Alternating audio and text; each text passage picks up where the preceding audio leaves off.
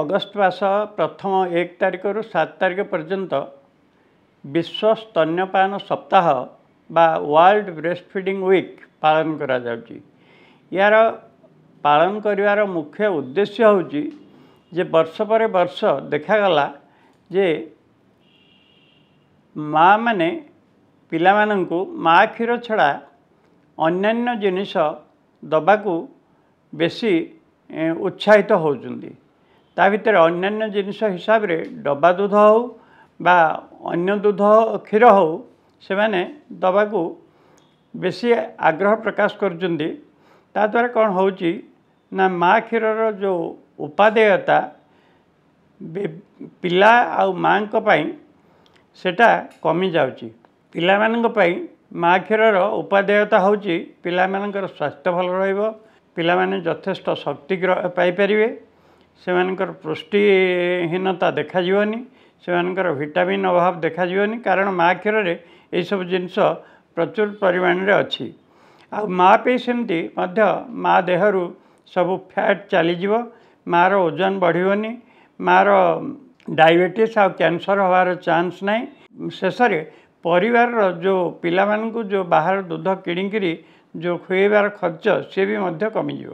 ଏମିତି ବି ଦେଖାଯାଇଛି ଯେ ମାଆ କ୍ଷୀରରେ ଡୋକୋସା ହେକ୍ସାନୋଇକ୍ ଏସିଡ଼୍ ଯେଉଁଟାକି ମସ୍ତିଷ୍କର ବିକାଶରେ ସାହାଯ୍ୟ କରେ।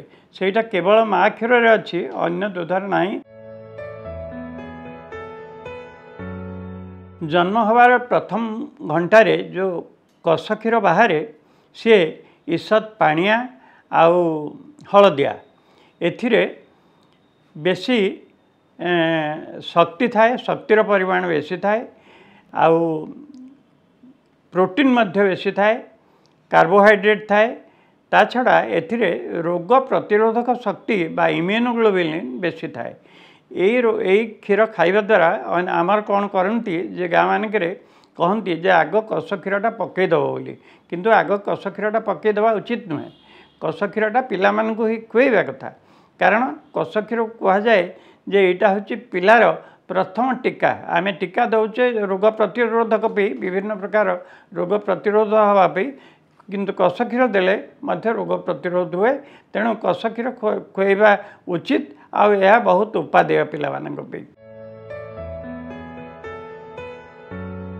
ଯେତେବେଳେ ମା ପିଲାକୁ ଧରିକିରି ଆସେ ମାନେ ଧରନ୍ତୁ ତିନି ସପ୍ତାହ ହେଇଥିବ ଚାରି ସପ୍ତାହ ହେଇଥିବ ମାସେ ହେଇଥିବ ବା ଜନ୍ମର ସାତ ଦିନ ଦଶ ଦିନ ଭିତରେ ହେଇଥିବ ଆମେ ତାକୁ ସାଧାରଣତଃ କହୁ ଯେ ମା ତୁମେ ସବୁବେଳେ ପିଲାକୁ ମାଆର କ୍ଷୀର ଦିଅ ଅନ୍ୟ ବାହାର ଜିନିଷ ଦିଅନି ସବୁବେଳେ ପିଲାକୁ କ୍ଷୀର ଦେଲେ ମାଆଙ୍କର କ୍ଷୀର ମଧ୍ୟ ବେଶୀ ହେବ ଆଉ ପିଲା ନିରୋଗ ରହିବ।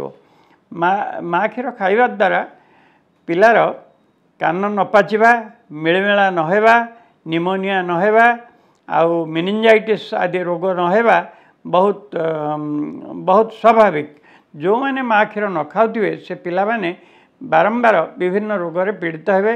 ଆଲର୍ଜି ଗୋଟେ ଜିନିଷ ଯେଉଁଟାକି ପିଲାମାନଙ୍କର ବେଶୀ ହୁଏ ଯଦି ସେମାନେ ମା କ୍ଷୀର ନ ଖାଇଥିବେ। ତେଣୁ ମା କ୍ଷୀର ମଧ୍ୟ ଆଲର୍ଜି ପିଲାମାନଙ୍କ ପାଇଁ ପ୍ରିଭେଣ୍ଟ କରେ। ମା କ୍ଷୀର ଦେବା ପାଇଁ ପିଲାକୁ ଜନ୍ମ ପରେ ପରେ ଆରମ୍ଭ କରିବା କଥା। ଜନ୍ମର ଏକ ଘଣ୍ଟାରୁ ବା ଦୁଇ ଘଣ୍ଟା ଭିତରେ ଜନ୍ମ ପ୍ରଥମେ କଷ କ୍ଷୀର ନ ପକାଇବା କଥା କଷ କ୍ଷୀର ପିଲାମାନଙ୍କୁ ଦେବା କଥା ତାପରେ ଜନ୍ମରୁ ଏକ ଘଣ୍ଟାରୁ ଦୁଇ ଘଣ୍ଟା ଭିତରେ କ୍ଷୀର ଆରମ୍ଭ କରିବା କଥା। ଶିଶୁକୁ କ୍ଷୀର ଦେବା ଉଚିତ। ତାପରେ କ୍ଷୀର ପ୍ରତି ପିଲାକୁ ଯେତେବେଳେ ପିଲା କାନ୍ଦିଲା ସେତେବେଳେ ମା କ୍ଷୀର ଦେବା ଉଚିତ। ତାକୁ ଇଂଲିଶରେ କୁହାଯାଏ ଡିମାଣ୍ଡ ଫିଡ଼ିଂ ପ୍ରତି ପଇଁଚାଳିଶ ମିନିଟରୁ ଦେଢ଼ ଘଣ୍ଟା ଭିତରେ ପିଲା ଥରେ ଥରେ ମା କ୍ଷୀର ଖାଇବ। ଆଉ ତାପରେ ପିଲା ଯେତେ ଖାଇବ ମାଆର କ୍ଷୀର ସେତେ ବାହାରିବ। ମା ପ୍ରଥମେ ମୋଟିଭେଟେଡ଼ ହେବା ଦରକାର ଯେ ମୁଁ ମୋ ପିଲାକୁ କ୍ଷୀର ଖୁଆଇବି। ଅନେକ ମା କମ୍ପ୍ଲେନ୍ କରନ୍ତି ଯେ ଆମର କ୍ଷୀର ହେଉନି ତେଣୁ ଆମେ ପିଲାକୁ ଦେଇପାରୁନୁ। ଏଇ ଯେଉଁ କ୍ଷୀର ହେଉନି no milk or less milk syndrome ଏଇଟା ହେଉଛି ଆମେ ସବୁବେଳେ କହୁ ଯେ milk doesn't lie in the breast milk lies in the brain ଯଦି ମା ସୁସ୍ଥ ମନରେ ଆଉ ରିଲାକ୍ସড ହେଇକିରି ଯଦି ପିଲାମାନଙ୍କୁ ମୋଟିଭେଟେଡ଼ ହେଇକିରି ଯଦି ପିଲାମାନଙ୍କୁ କ୍ଷୀର ଖୁଆଇବ ତାହେଲେ ମାଆଙ୍କର କ୍ଷୀର ଯଥେଷ୍ଟ ହେବ ଆଉ ପିଲାମାନେ ଆରାମରେ ଖାଇପାରିବେ। ପିଲାମାନଙ୍କର ଖାଇବା ଖୁଆଇବା ସମୟରେ ମାଆର କେତେ ଗୁଡ଼ିଏ ଅସୁବିଧା ଆଉ ସୁବିଧା ମଧ୍ୟ ହୁଏ। ପ୍ରଥମ କଥା ହେଲା ଯେ ଯୋଡ଼େ ଜିନିଷ ବହୁତ ଇମ୍ପୋର୍ଟାଣ୍ଟ ଗୋଟେ ହେଉଛି ଆଟାଚମେଣ୍ଟ ଆଉ ଗୋଟେ ହେଉଛି ପୋଜିସନିଂ ଆଟାଚମେଣ୍ଟ ମାନେ ପିଲା କେମିତି ପାଟି ଲଗାଉଛି ମାଆର ସ୍ତନରେ। ଆଉ ଦ୍ୱିତୀୟ କଥା ହେଲା ପୋଜିସନିଂ ହେଉଛି ମା ପିଲାକୁ କ୍ଷୀର ଖୁଆଇଲା ବେଳେ କେମିତି ଧରୁଛି। ଆଟାଚମେଣ୍ଟ ଯେଉଁଟା ଆମେ କହୁଛୁ ଯେ ସ୍ତନର କଳା ଅଂଶର ଦୁଇ ତୃତୀୟାଂଶ ପିଲାର ମା ପିଲାର ପାଟି ଭିତରେ ପଶିବା ଉଚିତ।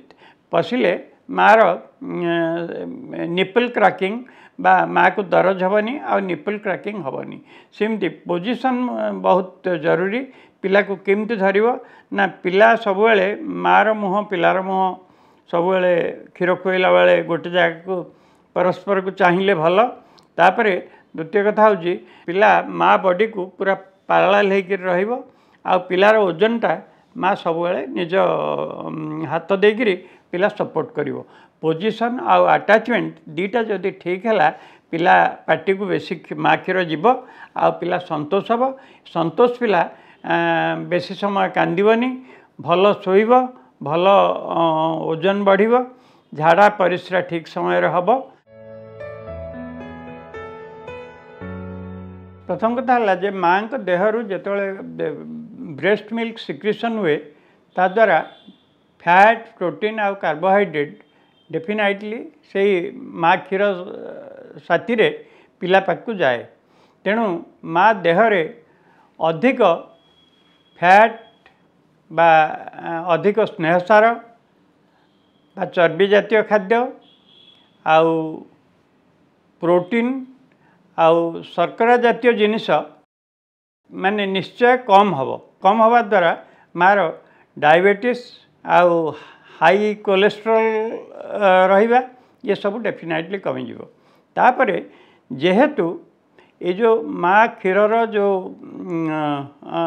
ନିର୍ଗତ ହୁଏ ଏଇଟା ହରମୋନ୍ ଡିପେଣ୍ଡାଣ୍ଟ ହରମୋନ୍ ମାନେ ଆମ ଶରୀରରେ ହରମୋନ୍ ଏସବୁ ବ୍ରେଷ୍ଟ ମିଲ୍କ ସିକ୍ରେସନ୍ରେ କାମ କରେ।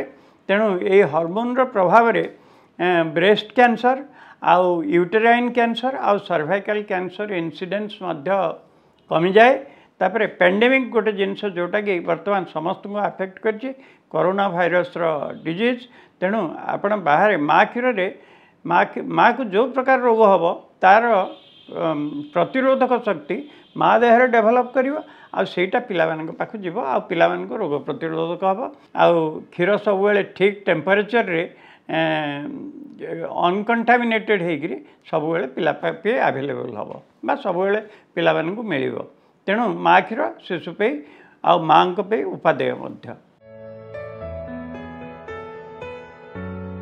ପ୍ରତି ଘରେ ବିଭିନ୍ନ ପ୍ରକାରର ବିଶ୍ୱାସ ଅଛି। ଆମେ ସବୁକୁ ତ ଅନ୍ଧବିଶ୍ୱାସ ବୋଲି କହିବାନି ବିଶ୍ୱାସ ଅଛି ଯେ ଅନେକ ମାଆଙ୍କୁ କୁହାଯାଏ ତୁମେ ତେଲ ମସଲା ଦେବନି ମାଛ ମାଂସ ଖାଇବନି ତାପରେ ଭେଣ୍ଡି ଖାଇବନି ଲାଉ ଖାଇବନି କଖାରୁ ଖାଇବନି ଏସବୁ ଜିନିଷ ଖାଇବନି। ତ ଏଇଟା ସତ କଥା ଯେ ଖାଦ୍ୟର ବିଭିନ୍ନ ଆଲକାଲଏଡ଼୍ସ ମା କ୍ଷୀର ଦ୍ୱାରା ପିଲାମାନଙ୍କ ପାଖକୁ ଆସେ ଏଇଟା ସତ କଥା। କିନ୍ତୁ ଗାଇଡ଼ଲାଇନ୍ ହେଉଛି ଯେ ଆପଣ ଯଥେଷ୍ଟ ଏନର୍ଜି ଯୁକ୍ତ ଖାଦ୍ୟ ଖାଆନ୍ତୁ ବା କାର୍ବୋହାଇଡ୍ରେଟ୍ ଥିବା ଖାଦ୍ୟ ଖାଆନ୍ତୁ ଡାଲି ଜାତୀୟ ଜିନିଷ ଖାଆନ୍ତୁ ମାଛ ମାଂସ ପରିମାଣରେ ଖାଆନ୍ତୁ ଏବଂ ସମୟ ଅନୁସାରେ ଖାଆନ୍ତୁ। ଆଉ ଯଥେଷ୍ଟ ପାଣି ଥିବା ଜିନିଷ ଲାଇକ୍ ଗୁଡ଼ ଲାଉ ଶାଗୁ ଏସବୁ ଜିନିଷ ଖାଇଲେ ମା କ୍ଷୀର ବେଶୀ ହୁଏ ତେଣୁ ଏସବୁ ଜିନିଷ ଆପଣ ଖାଇପାରିବେ। ବିଭିନ୍ନ ରୋଗର କାରଣ ଓ ନିରାକରଣ ସମ୍ପର୍କରେ ଡାକ୍ତରଙ୍କ ଠାରୁ ଜାଣିବା ପାଇଁ ସ୍ୱାସ୍ଥ୍ୟ ପ୍ଲସ୍ ଓଡ଼ିଆର ୟୁଟ୍ୟୁବ୍ ଚ୍ୟାନେଲ୍ ସବସ୍କ୍ରାଇବ୍ କରନ୍ତୁ।